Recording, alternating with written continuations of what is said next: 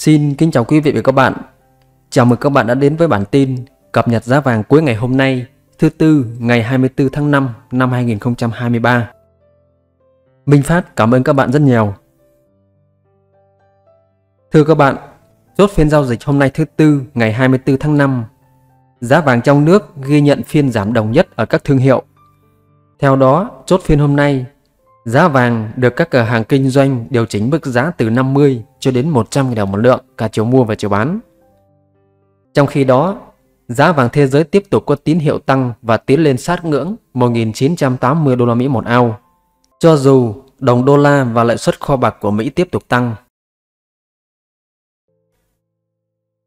Cụ thể, với mức điều chỉnh này, giá vàng SJC ở khu vực Hà Nội và Đà Nẵng ở chiều mua hiện đang có mức giá 66 triệu 500 000 đồng một lượng, chiều bán 67 triệu 120 000 đồng một lượng, giảm 50 000 đồng một lượng cả chiều mua và chiều bán.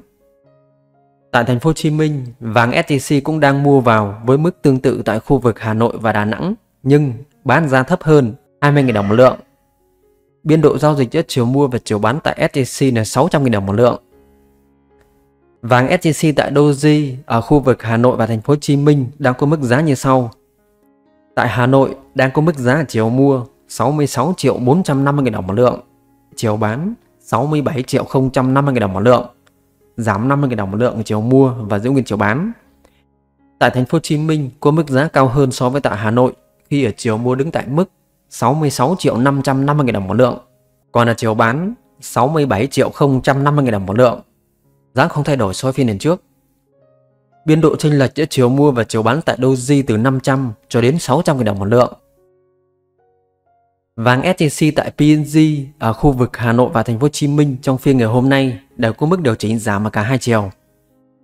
Tại Hà Nội đang có mức giá ở chiều mua 66 triệu 550 000 đồng một lượng, chiều bán 67 triệu 100 000 đồng một lượng, giảm 50 000 đồng một lượng cả hai chiều mua bán. Tại thành phố Hồ Chí Minh cũng có mức giá tương tự so với tại Hà Nội khi ở chiều mua đứng tại mức 66 triệu 550 000 đồng một lượng, còn ở chiều bán 67 triệu 100 000 đồng một lượng giảm 50.000 đồng một lượng cả chiều mua và chiều bán. Biên độ giao dịch giữa chiều mua và chiều bán tại Pinji là 550.000 đồng một lượng.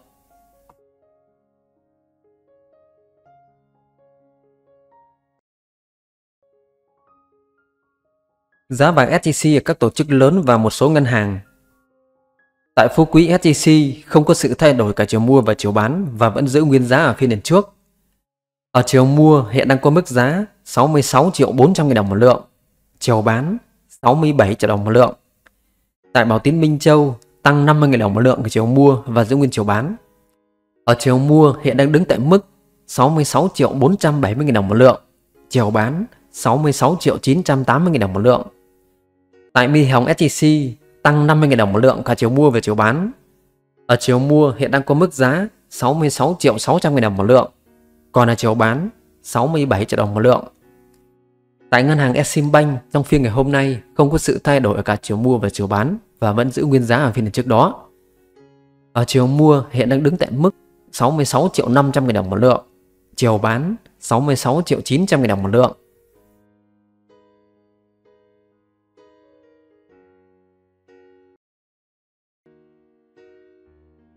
Giá vàng nhẫn bô số 9 vàng nữ trang trong phiên ngày hôm nay không có sự thay đổi ở cả chiều mua và chiều bán và vẫn giữ nguyên giá ở phiên trước đó.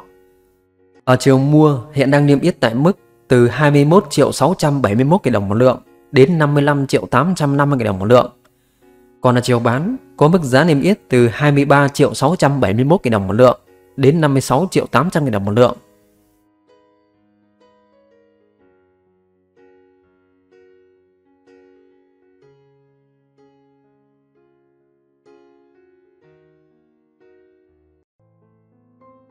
Thưa các bạn, ngay tại thời điểm cuối ngày hôm nay, giá vàng thế giới hiện đang giao dịch ở quanh ngưỡng 1.981,6 đô la Mỹ một ao.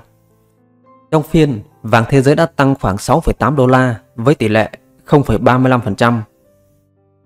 Mức giao dịch thấp nhất trong phiên 1.970 đô la Mỹ và cao nhất 1.981 đô la Mỹ một ao. Tiền điện từ Bitcoin hiện đang giao dịch ở quanh ngưỡng 26.713 đô la Mỹ một đồng trong phiên đã giảm 1,87%. Chỉ số đồng đô la Mỹ thước đo sức mạnh của đồng bạc xanh so với các đồng tiền chủ chốt khác trong phiên đã tăng 0,06%, hiện đứng tại mức 103,574 điểm.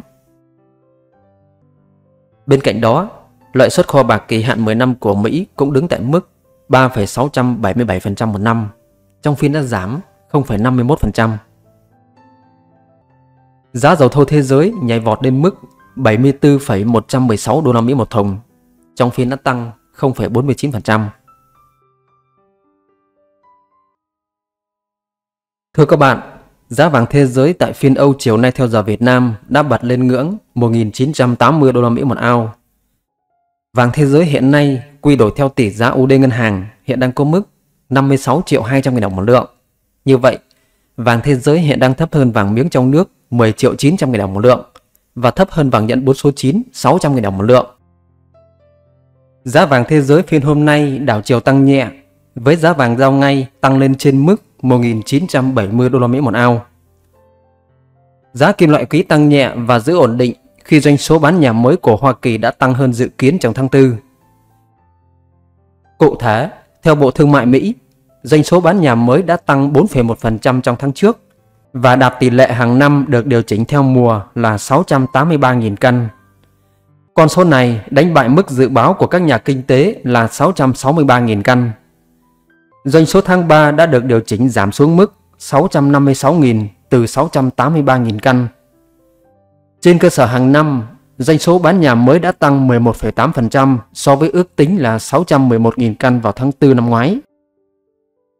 Trong tuần này, đà tăng của giá vàng đã bị hạn chế bởi những tiến triển rõ ràng trong các cuộc đàm phán về trần nợ của Mỹ. Các chuyên gia cho rằng những thông tin tích cực từ các cuộc đàm phán có thể sẽ làm gia tăng áp lực bán đối với thị trường trú ẩn an toàn. Các thông tin cho biết, Tổng thống Mỹ ông Joe Biden và Chủ tịch Hạ viện ông McCarthy đã có các cuộc đàm phán hiệu quả về việc gia hạn trần nợ vào đầu tuần. Cả hai dự kiến sẽ gặp nhau trong tuần này về vấn đề này. Bộ trưởng Tài chính Mỹ bà Janet Yellen đã nhắc lại khả năng vỡ nợ nếu không đạt được thỏa thuận gia hạn nợ mới. Điều này đồng nghĩa Đảng Dân Chủ của Tổng thống Mỹ ông Joe Biden và Đảng Cộng Hòa chỉ còn khoảng một tuần nữa để đạt được thỏa thuận nâng mức trần nợ. Ngoài ra, kim loại quý còn chịu áp lực mạnh khi các quan chức Cục Dự trữ Liên bang Mỹ Fed nhìn chung vẫn diều hâu đối với chính sách tiền tệ của Mỹ trong các đợt phát biểu gần đây của mình. Vào đầu tuần, ông Neil Kakari, Chủ tịch Cục Dự trữ Liên bang Mỹ Fed tại Minneapolis cho biết Ngân hàng Trung ương Mỹ vẫn quyết tâm giảm lạm phát xuống mức khoảng 2% hàng năm. Tuy nhiên, ông cho biết không chắc liệu Fed có thể tăng lãi suất trong cuộc họp tháng 6 này hay không. Về mặt kỹ thuật, giới đầu cơ vàng giá lên hợp đồng tương lai vàng tháng 6 vẫn có lợi thế kỹ thuật tổng thể trong ngắn hạn nhưng đã giảm dần. Giá đang trong xu hướng giảm kéo dài trong 3 tuần trên biểu đồ thanh hàng ngày cho thấy một đỉnh thị trường ngắn hạn đã hình thành. Mặc dù được dự báo sẽ tăng về dài hạn, nhưng trước mắt, vàng chịu áp lực từ đồng đô la Mỹ mạnh lên. Hiện tại, đồng bạc xanh vẫn có xu hướng nhích lên theo các dữ liệu vĩ mô ổn định của Mỹ. Một số dự báo cho rằng Fed vẫn có thể sẽ tăng lãi suất. Tuy nhiên, biến động của giá vàng cũng phụ thuộc vào kết quả đàm phán về nợ trần của Mỹ. Một vụ vỡ nợ của Mỹ nếu xảy ra trước cuộc họp tiếp theo của Fed có thể sẽ ảnh hưởng tới quyết định chính sách tiền tệ.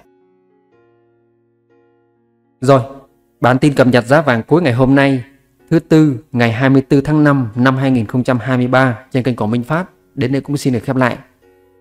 Cảm ơn các bạn đã dành thời gian theo dõi video này nhé. Chúc các bạn cùng gia đình buổi tối thật nhiều sức khỏe và tràn ngập niềm vui. Các bạn cũng đừng quên nhấn giúp mình Phát một like nhé. Xin trân trọng cảm ơn. Xin kính chào và hẹn gặp lại các bạn trong các bản tin tiếp theo.